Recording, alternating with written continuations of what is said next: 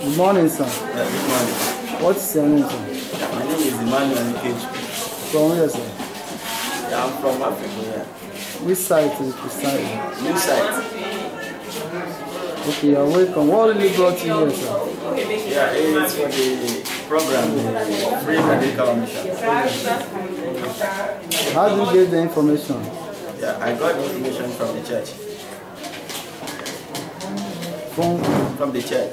the name of your church? It- It's uh, Mata Parish. I'm still in new site here. When I went to church about two, two Sundays ago, Have you been attending? Have you, they have they attended for you? yes, they have attended to me. Okay. So what is your benefit? What have you benefited from the program?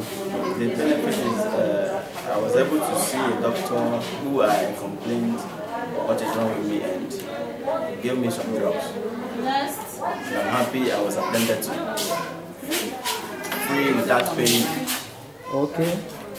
So what do you have to tell the whole world concerning the charitable work? Mm, I would like to tell the whole world that it's very nice. It's a very nice program.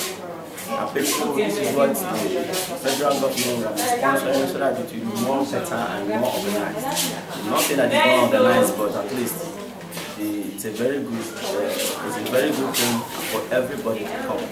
So that for those that don't have enough financial backup to follow their medical, at least when this kind of program comes, they should try their best to come and uh, benefit from the program. You're welcome, sir.